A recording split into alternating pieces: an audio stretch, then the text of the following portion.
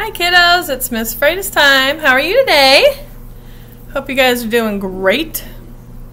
So the next couple books that I read are going to be about animals if possible because, oh my goodness, uh, um, my class is doing an animal report from home uh, with their distance learning. So I wanted to make sure that we had plenty of animal inspiration. Okay?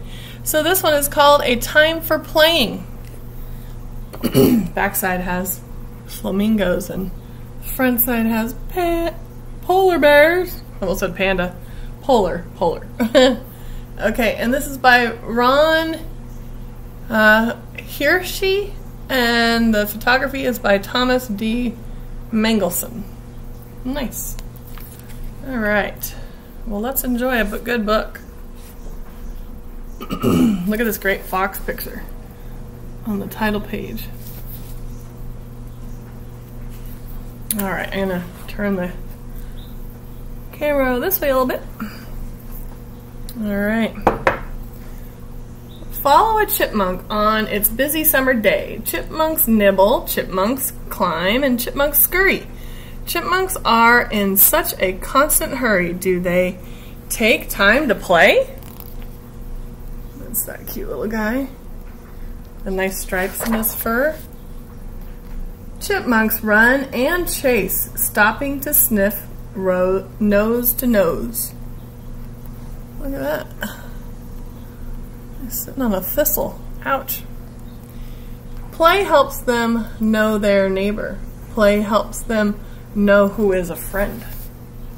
It's a little bit of a dark picture, but it sure is cute. You see that close?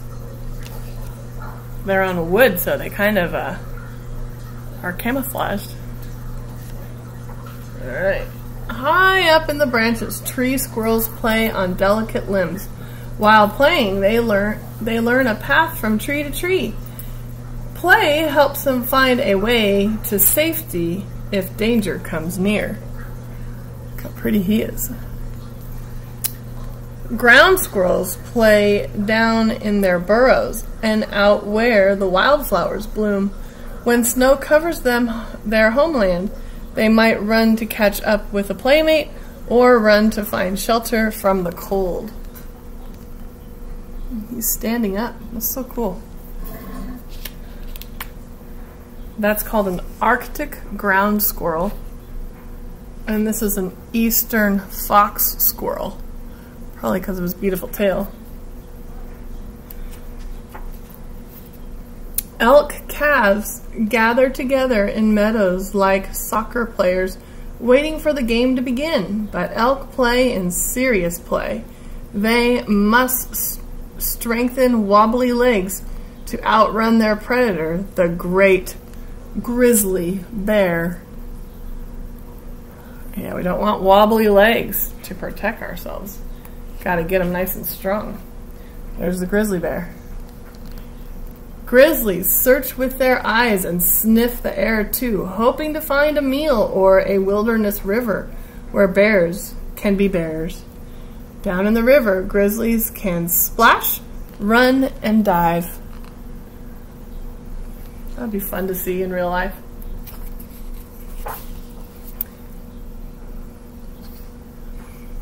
These are grizzly bears with cubs. They then in the tall grass, grizzlies stretch in the sun and rub against one another to dry after grizzly bear fun. But no bears play like polar bears play.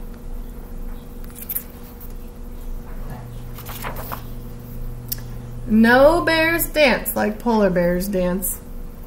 White as the blowing snow, polar bears greet one another in frozen stillness and then their dance begins Polar bears roll. Polar bear. Polar bears roll. Polar bears arch long and strong necks. That's pretty cute, huh? Then they nuzzle and nibble like puppies at play. The polar bears dance together. They also dance alone, a silent ballet dance of the north in a faraway land. This is a sea otter. Sea otters play when they swim, diving for sea stars, or a bright colored kelp crab. Neat. He's chewing on something. It's hard to tell what. I like the way he sits up top close to the water. So sweet. They play with their food to learn what is best, but when they play with one another, play can mean survival out on the cold ocean waves. Otters comb and brush one another in playful grooming until, nope, sorry, uh, in playful grooming up on the shore. It must feel good to an otter to be fluffed, to have shiny, clean fur. This fluffy coat traps air within the otter's dense fur, insulating each otter from bitter cold northern seas. And this is a sea otter as well. Kind of camouflaged, huh? Here he is eating on top of the water again. River otters are sleeker, but have lots of fat too. They have no need for combing and brushing like their relatives out at sea. Always seeming to have time on their hands, otters play with one another in water and on land. Otters stand up and chirp and tease others and to follow, or tumble and box like kittens in your house. Uh, river otters. Two different pictures of river otters. Fox foxes play with one another or chase birds they rarely can catch. They try to catch magpie, a trickster bird on the west. Pretty foxes. I think one of my students is doing a fox for their report. Kind of like a coyote, magpie magpie tempts and teases from a distance like uh, distance that is safe. Then foxtail fluffs and fox runs as fast as fox can run. Do magpies know foxes can't fly? Probably, I think they just like to tease them. They're trying to stay warm too, probably. This is a lion, baby lions. They're a little. Play makes lions stronger. Zebras grow swift. and this is called uh, Burchell's zebras. Here's the name right here. Burchell's zebras. Play helps baboons know one another, but you don't have to take a distant safari to see animals play. Hang a sunflower feeder up in your yard. Birds will arrive, but curious squirrels will too. This is true. They love bird feeders. It's like easy food for them. Squirrels will jump and squirrels will climb, and they will playfully discover one way or another how to get into what is not meant for them. Just like you, squirrels learn as they play. But maybe, just maybe, squirrels know it just feels good to play. The end. And I will check and see if it's testable. This was a book that was given to us by our benchmark program, so want to see if it is testable for us. It's kind of a different program for testing. That's good. Play is good, isn't it, boys and girls?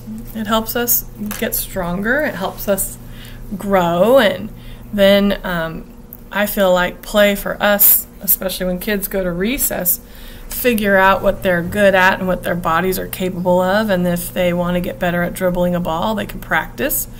And if they have a game going and maybe they are disagreeing on if the ball's in or out, um, us humans have the skill of coming to an agreement. So not only are when you play, are are we as humans not you know animals don't really you know, once they battle it out, if they're going to fight about it, they fight about it. but it starts with it starts playful and probably ends playful. But sometimes our games turn into uh, activities where we don't agree on what happened, or maybe one person thinks something is in and one thinks it's out, or maybe someone thinks there was um, a penalty of some kind in a game. And the goal is, especially when you're at recess or playing with friends and it's just for fun, just, you know, agree on, oh, okay, well, next time it should be out and I'll let it be in this time. You know, just come up with an agreement or maybe establish the rules to your games very well before you start. That always helps. And then um, I know uh, when my students play uh, ball wall or wall ball, well, I don't know how you guys say that, but they always have one person who's next in line and foursquare too.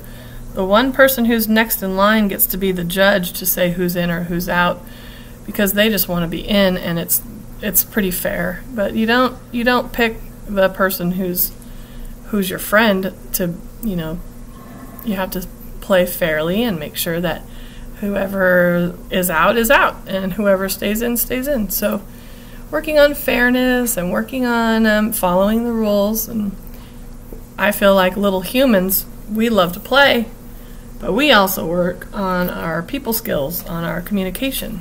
I think it's helpful. And if you don't work on it at recess, you got to work on it at other times. But hopefully, if you work on your communication skills and work out who's right and, or, you know, just make sure that everyone's on the same page with how to play a game, then that means it will transfer into other things that you do in your life and you'll be able to communicate with everybody your friends, your classmates, your coaches, your parents. And, um, and then it's also nice to um, have gratitude. Maybe you finish playing the game and you say, Good job. I thought you played really well today. You know, give a compliment, say thank you for playing with me, um, thank you for playing fairly. the other thing you could say is, um, you you were really awesome. like you, you know, and you can work on if you lose, you know, just say, "Oh, I wish I hope I can do better tomorrow." because it's not fun to lose, but usually when you play a game there's a winner and a loser.